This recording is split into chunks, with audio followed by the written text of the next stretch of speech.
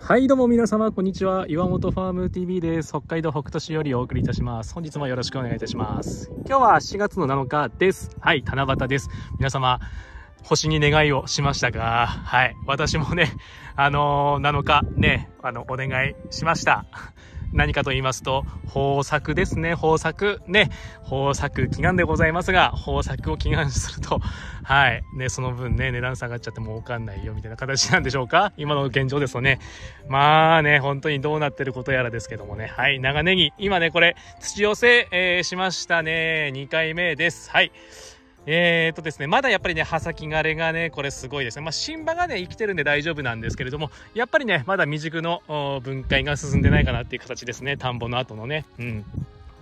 まあ、同時進行で形ですよね、本当にね。でも太くなってきましたね、だいぶね。はい。で、あまりにもね、ずっとね、こんな天気なんですよ。ね悪いでしょ。もうここのとこずっとこんな形で、やっぱちょっと寒い感じ。うん、最高気温で22度とかかな。晴れるとね、本当にね、あの、30度近くまで行くんでね、暑いんですけども。まあ、変な天気ですし、寒いですし、雨降って乾かないって形でね、ここにね、この間酸素供給剤入れたりとかね、したね、えーそちらもお見せしましたけどもね。はい、どうなんでしょうね。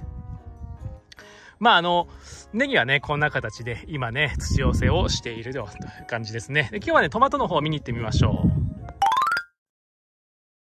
はい、えートマトのハウスやってまいりました。ね、あの、畑のすぐ横、ネギの畑のすぐ横のハウスです。はい、こちらね、今、えーっと、1段、2段、3段、ね、3段階化あして4段目のつぼみに今差し掛かってるところかな。はい。な形です。で、えーと、今日はね、この様子をお伝えしてきて、まあ、有機肥料で今年はやったよってことなんで、それについてね、お話ししたいなというふうに思います。有機肥料。あのですね、初期の生育、本当に弱い。ね、びっくりした。あの、今まで化成肥料を使ってきて作ってたんだけども、ロングのね。うーん、弱いね、やっぱりね。で、あの、まあ、大体親指の太さでできればいいなと思ってたんですけども、全然親指まで行ってない。うん。まあ、逆に暴れてないんで、今までね、あの、暴れるのをどうやって抑えようかなと思ってて、そういった考えでずっとやってきたんだけども、まあ、暴れないね。おとなしい。うん。で、やっぱりね、窒素効かないっていうことは、あの、なんて言ったらいいんだろうな、虫が来ないね。うん。あの、いつもね、大体その、アブラムシとかで吸われてね、あの、成長点が萎縮しちゃって、それで株捨てるっていうのがね、やっぱあるんですよね。もう今年ないね。プラス、その、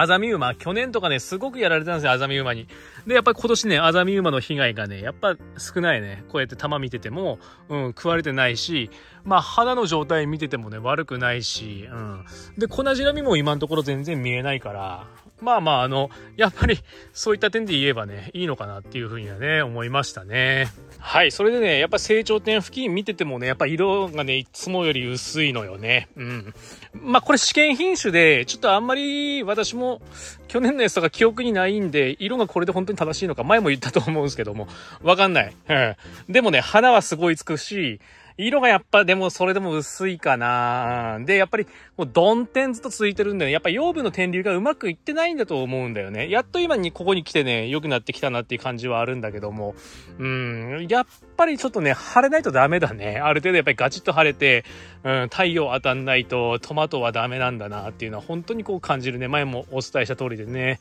うん。で、やっぱり有機肥料だけでやってると、あのどうしてもやっぱり初期の生育弱い。で、まあ今後ね、3段目ついてきてピンポン玉サイズ超えてきたんでね、これはちょっとね、そろそろ追肥かなっていう感じですよね。はい。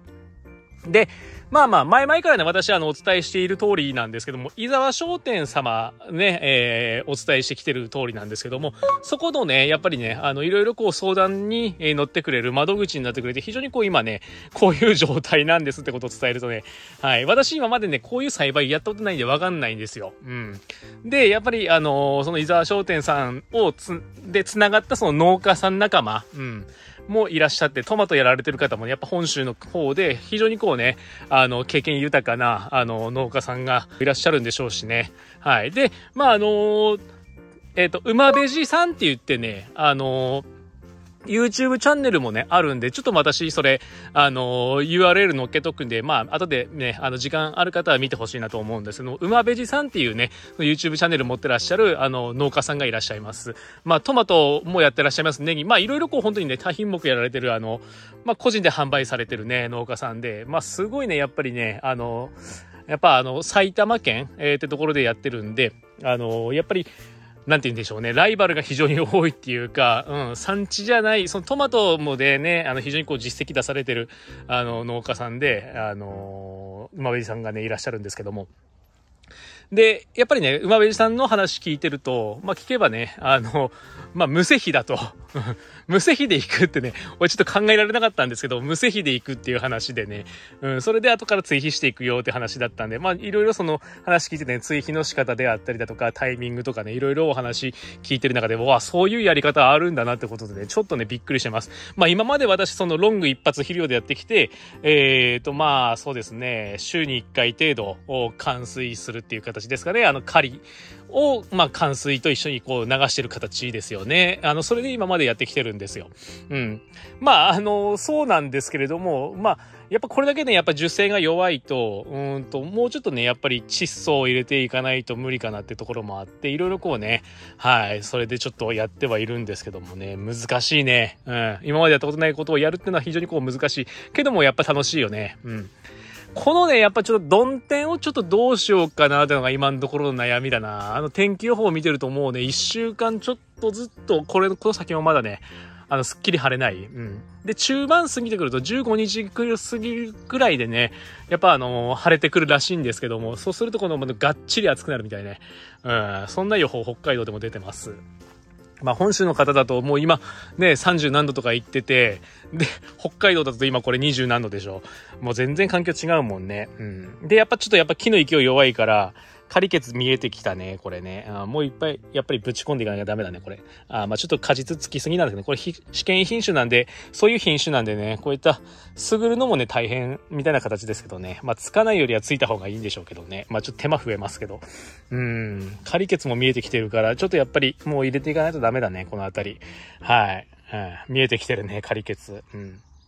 ただやっぱりミネラル、マグネシウム、そのあたりをね、非常にこう重点的に今年は入れてるんで、やっぱ葉っぱの状態はね、色薄いけども、ボコボコ感もあって、まあ悪くないんじゃないかなっていうのはね、感じるところではあります。まあ果たして、このあたりでね、次にもうちょっと、あの、追肥していけば、うん、もうちょっと良くなってくるんじゃないかなと思うんですけども。もう長いもんね。びっくりする。指2本、あ、手2本分くらいあるもんな。本当に徒長しちゃってるんで、長さがね。うん。で、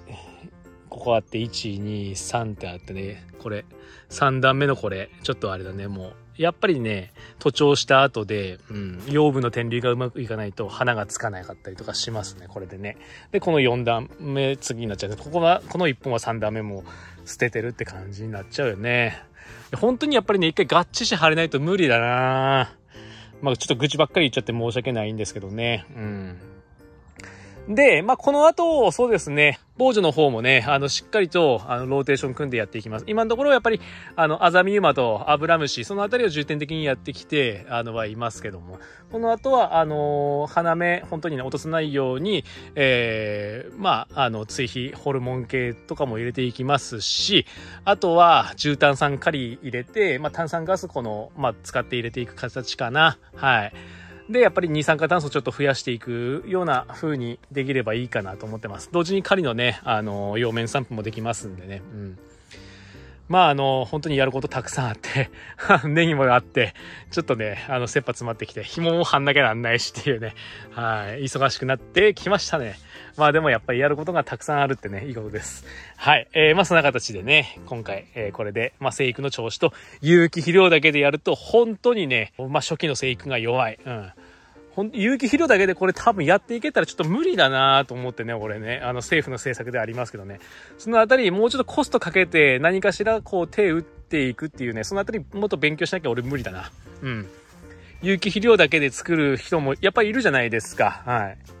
そのあたり俺も勉強して、やっぱりね、あの、この後、その、そういう国の政策であったりだとか、まあ、国の転換とかあった時にね、対応できるような、そんな農家でありたいなとも思う次第ではございますね。いや、あの、今まで本当に化成肥料に頼って伝えて作ってきたでしょ。本当にね、化成肥料ってすごいんだなって、これやっぱ思いますよね。うん、勇気で作って初めて思った。うん。有機肥料本当にね、あのー、まあ、土にはね、優しいと思うんですけども、このやっぱりバシッとこう効くかったら本当に効かないもんね。うん。やっぱ有機混合化成肥料みたいな、あの、ある程度やっぱそういうので使っていかないとダメかなとは思いますけどもね。うん。まあ、ちょっと取り留めのない話でね、本当に申し訳ないんですけど、まあ、そんな形でね、今後もやっていきたいなというふうに思っております。まあ私もやっぱりね、いろいろ思うことあって、うん、あの勇気っていうかね、そういったこともやっぱりいろいろ考えてね、やっぱり行かなきゃダメかなというふうに思いました。いろんなことでこう対応できるように、うん、していきたいなというふうにね、思いますし、まあ皆様方からね、やっぱそうやって、うん、あのー、まあ伊沢商店様をはじめ、あのー、いろんな農家さんとね、繋がることが今できてるんで、まあよろしければね、皆様方も伊沢商店さんのね、チャンネル見ていただきたいなというふうに思いますし、やっぱり見識広がって、いろんなことがね、やっぱ頭に入ってくるんで、うん。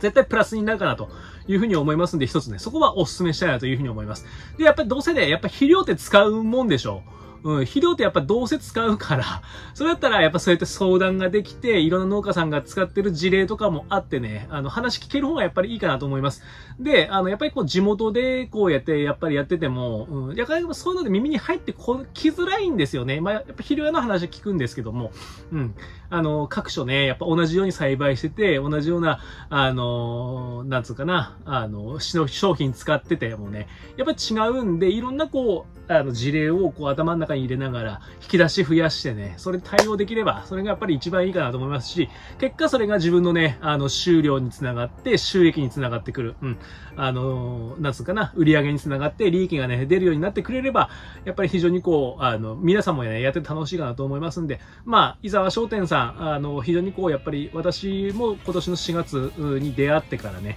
そういった形で相談させてもらって、うん。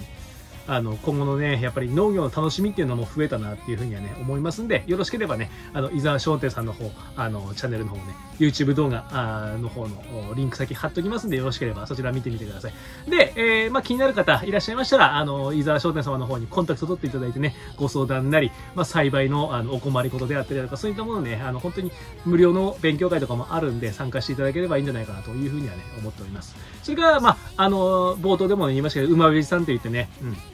私はトマトの方でいろいろね、相談させてもらって、お話しさせてもらったんですけども、非常にこうね、あのー、すごいベテランのさんの農家さんなので、私なんかよりも非常にこう、あの、栽培の方法であったりとか、そういったものね、あの、ご存知かなと思いますので、そちらのチャンネルも貼っておきますんで、よろしければそちらの方もね、あの、梅ば、馬べじさんのね、あの、チャンネルの方、すごい噛むね、馬べじ、馬べじみたいな